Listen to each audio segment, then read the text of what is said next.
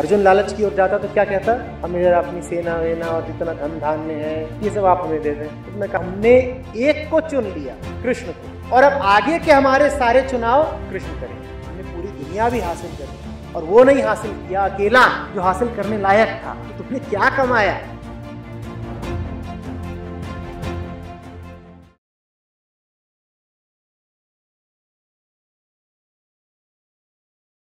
हाँ, नमस्कार आचार्य जी।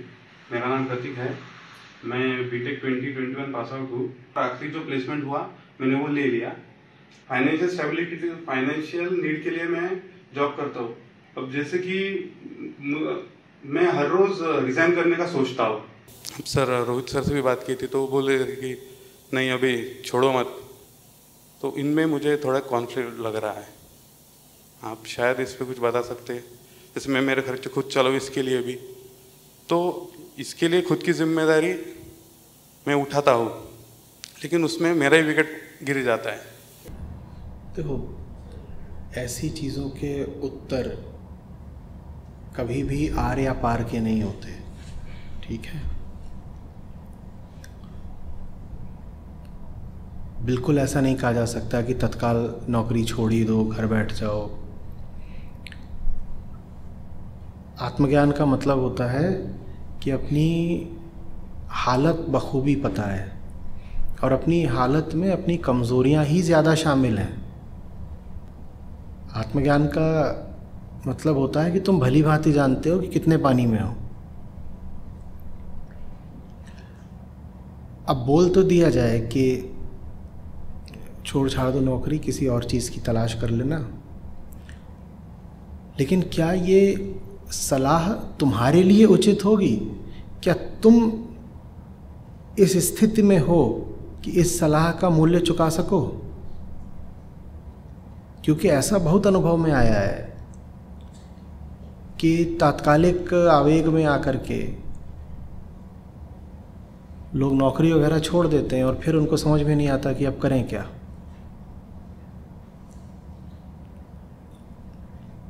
हम्म?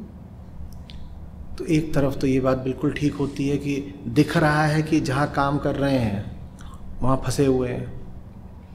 दूसरी ओर ये भी याद रखना होता है ना कि हम में ही कोई कमज़ोरी है जिसकी वजह से फंसे हुए हैं। जिस कमज़ोरी ने हमें इस काम में फंसा दिया, अतीत में, क्या अभी वो कमज़ोरी बिल्कुल मिट गई है? जल्दी बता दो। आपने मास्क लगा रखा है। हम्म? और मास्क की वजह से आप ठीक से सांस नहीं ले पा रहे। ठीक है?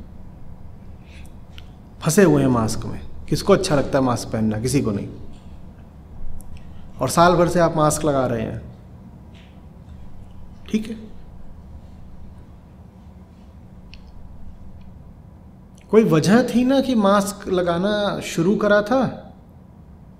मास्क में आपके फंसने की शुरुआत किसी वजह से हुई थी ना? क्या थी वो वजह?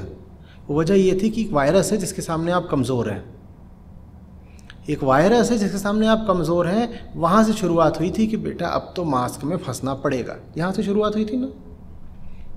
आज आप मास्क को त्यागना चाहते हैं। बिल्कुल त्याग सकते हैं। बस इतना बता दीजिए, आपकी कमज़ोरी मिट गई है क्या? अगर कमज़ोरी मिट गई है तो बेशक आप मास्क को अभी त्याग दीजिए।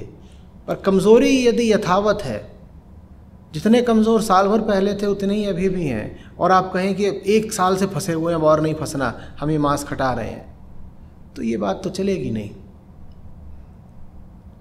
जीवन में बदलाव, तब लाओ जब आंतरिक तौर पर बदलाव की शुरुआत हो चुकी हो। बाहरी बदलाव के निर्णय तब लो जब आंतरिक तौर पर उन निर्णयों को संभालने की, झेलने की, बर्दाश्त करने की ताकत पैदा कर चुके हो। नहीं तो ऐसे निर्णय माया की चाल हो जाते हैं। बताता हूँ कैसे।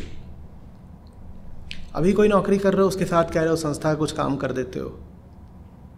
और बहुत संभावना है कि जिस दिन तुम नौकरी छोड़कर घर पर बैठ गए, उस दिन तुम्हारे मन में शत प्रतिशत सिर्फ़ एक सवाल चल रहा होगा, क्या? अगली नौकरी कहाँ से मिलेगी? और उसके बाद संस्था के लिए जितना करते हो, उतना भी नहीं करोगे। यही तो माया चाहती थी। मैं नहीं कह रहा कि ऐसा होगा निश्चित रूप से। मैं सिर्फ़ एक संभावना बता रहा हूँ ताकि सतर्क रहो।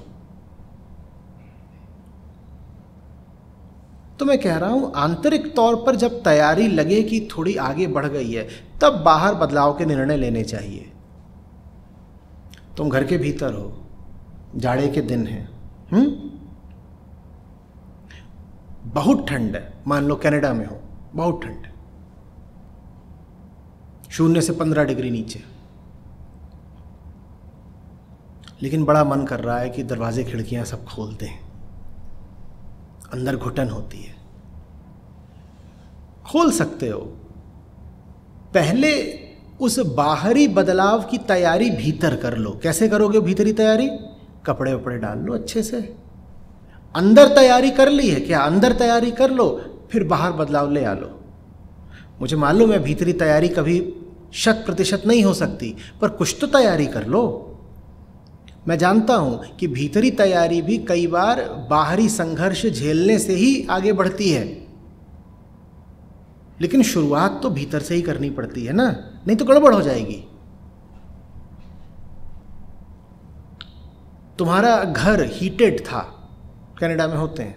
वहाँ भीतर पूरा सेंट्रली हीटेड है। तो तुम घर में टी शर्ट पहन के घूम रहे थे मज़े में? कोई दिक्कत ही नहीं। और बाहर क्या तापमान? हमने कहा शून्य से पंद्रह नीचे। और भीतर क्या पहन के घूम रहे? टी शर्ट और यकायक सारे दरवाजे खिड़कियाँ खोल दी। अब क्या होगा? जहाँ हो, वहीं जम जाओगे। अच्छी बात है, बढ़िया बात है कि हमें अब बाहर की हवा लेनी है। हम्म? ताज़ा माहौल में सांस लेना चाहते हो, बहुत अच्छी बात है। तैयारी कर लो, फिर करना। बिना तैयारी के आगे बढ़ना आत्मघाती होता है।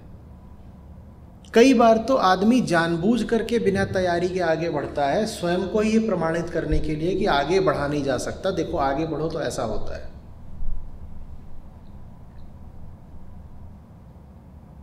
बात आ रही समझ? में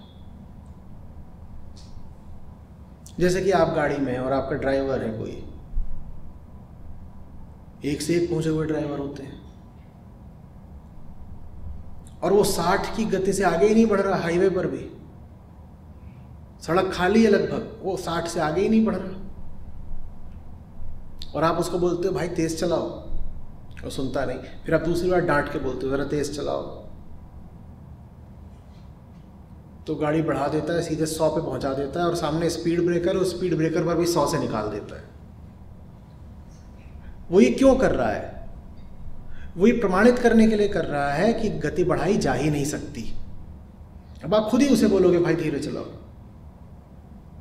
कई बार आप जानबूझ करके ऐसे निर्णय लेते हो जिनका असफल होना तय है, ताकि आप स्वयं को प्रमाणित कर दो कि ऐसे निर्णय तो लिए ही नहीं जा सकते। और उसके बाद आपको कोई ग्लानी भी नहीं बचेगी। आप कहेंगे, देखो, हमने कोशिश करी थी ना।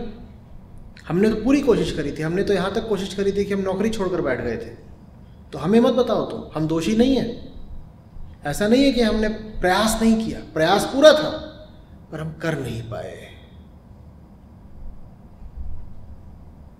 देखिए, आपने कहा था तो हमने गति बढ़ा दी थी। ऐसी गति बढ़ाई कि स्पीड ब्रेकर पे उड़ा दी बिल्कुल। ये मत कहिएगा कि हम तेज चला नहीं सकते, चलाई तो थी। इस तरीके से तेज चलाई कि तेज चलाने की स्थिति ही ना बचे। जिन्हें जीवन में आगे बढ़ना हो, वो बड़े सतर्क रहते हैं। जहाँ मुद्दा संवेदनशील हो, गंभीर हो, वहाँ यूँ ही खेल खेल में निर्णय नहीं लिए जाते।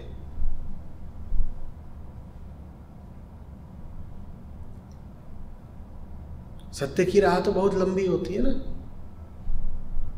बहुत लंबी पारी खेलनी होती है। और जिन्हें सत्य से इतना प्यार होता है कि वो उतनी लंबी पारी खेलने को तैयार होते हैं, वो यूँ ही अकबक बल्ला नहीं घुमाते। मैच चल रहा है, टेस्ट मैच है और आपको पता है कि मैच बचाने के लिए पूरे दिन बल्लेबाजी करनी पड़ेगी। पांचवा दिन है। पांचवा दिन है और 400 रन से पीछे हो, जीतने का कोई सवाल नहीं। हाँ ड्रॉ करा सकते हो। ड्रॉ कराने के लिए क्या करना है? क्या करना है? टिके रहना है। माया के खिलाफ संघर्ष ऐसा ही है। जीतने का कोई सवाल नहीं है। अगर मैच ड्रॉ करा लिया तो उसको जीत मानो। और मैच ड्रॉ कराने के लिए ज़रूरी है कि टिके रहने से प्रेम हो, जिन्हें टिके रहने से प्रेम होता है, वो इधर उधर बल्ला नहीं भांजते। जल्दी से कुछ कर दो। किसी को भली बात पता है कि दिन भर टिके रहना और वो आ करके कभी बल्ला इधर घुमा रहा है, कभी उधर घुमा रहा है, कभी रिवर्स स्वीप कर रहा है। कभी विकेट कीपर के ऊपर से छक्का मारने की कोशिश कर रहा है और ये हरकत कर रहा है, तब जब पता है कि अभी दिन भर टिके रहना है तो सीधा सीधा निष्कर्ष क्या? इसको कोई प्रेम ही नहीं है टिके रहने से। ये तो खुद ऐसी स्थितियाँ निर्मित कर रहा है कि जल्दी से जल्दी पिंड छूटे, और मैं पेविलियन पहुंचूं। और जब पेविलियन पहुँच जाएगा, लोग कहेंगे तो क्या कर रहा है? बोल रहा है, अरे, तुम छोटे लोग, तुम ड्रॉ की सोचते हो? मैं तो 400 रन बनाकर जीत की सोच रहा था। और 400 रन तो तभी बनेंगे ना दिन में जब जरा बल्ला भांजेंगे। तो मैं तो बल्ला भांज रहा था कि जीत ही मिल जाए। ये आदमी मक्कार है, बहुत झूठा है। ये कुछ नहीं है, पेवेलियन में आके सोना चाहता था वापस, कि इतनी कड़क धूप है? हम्म? मान लो चिन्ना स्वामी स्टेडियम में हो रहा है, बड़ी धूप है। अरे कौन दिन भर खड़े खड़े टुक टुक टुक टुक टुक टुक ब्लॉक करेगा? इससे अच्छा जरा जौहर दिखाया जाए। ले बेटा, एक छक्का। और जब बल्ला घुमाओगे, एक दो बार तो लगी जाता है। और जनता भी खुश कि चलो कुछ पटाखेबाजी देखने को मिल रही है। तालियाँ भी बज गई।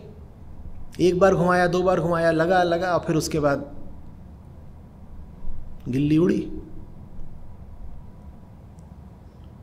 और तर्क क्या? हमें तो 400 चाहिए था। 400 नहीं मिलने का। तुम माया को इतने हल्के में मत लो कि तुम दिन भर बल्ला घुमाते रहोगे और पिटती रहेगी।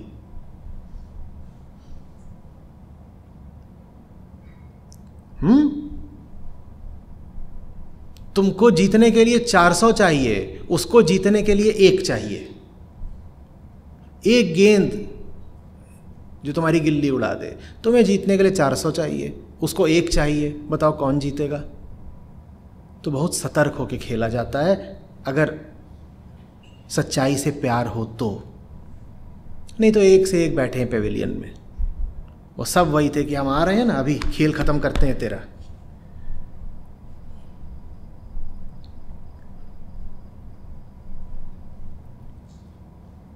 लेकिन आचार्य जी, कभी ना कभी तो वो दिन आएगा ना जब कोई ना कोई आखिरी दिन भी 400 रन बना करके जीत हासिल करेगा।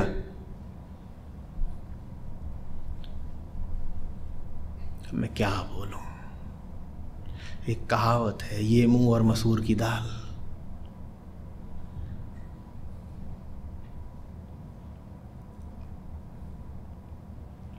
अरे तुम्हें छक्के चौके मारने भी हैं। तो आखिरी सेशन में मार लेना चाय के बाद? तुम पहले चाय तक तो टिक के दिखा दो। फिर देखेंगे कि पीट सकते हैं कि नहीं।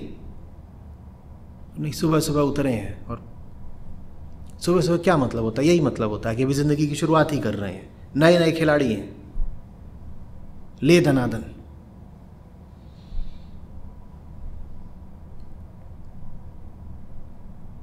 ये आचार्य जी हल्के खिलाड़ी हैं। इतनी उम्र हो गई, इनको मुक्ति मिली नहीं है अभी।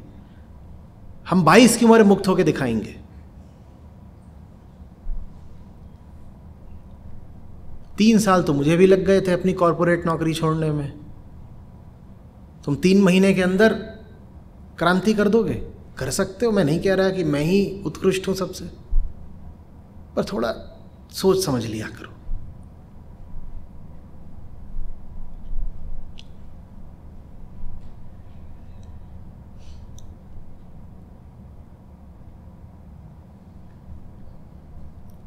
मैं तंग आ चुका हूँ ऐसों को देखने से। आएँगे नए नए आएँगे, बोलेंगे, हमने अपना जीवन हाजिर कर दिया है। अब और कुछ नहीं है। अब सत्य की सेवा है बस। दो महीने के भीतर नदारत ढूंढो, पूछो, कहाँ गया? गायब।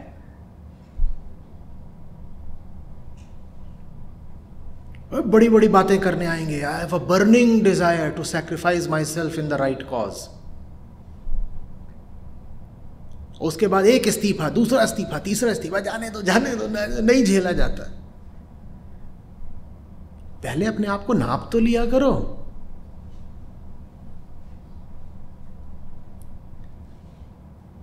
और इतनी गैरत रखो कि एक बार शुरू कर दो तो फिर पीछे वापस ना जाना पड़े।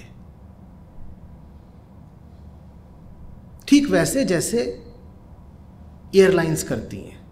कि एक बार उड़ गए, अब वापस ना जाना पड़े। लेकिन उड़ने से पहले दो तीन घंटे की प्रक्रिया होती है। वो बेहतर है ना? कि दो तीन घंटे की पूरी प्रक्रिया से गुजर लो। और दो तीन घंटे की प्रक्रिया से तुम ही नहीं गुजरते, वो प्लेन भी गुजरता है।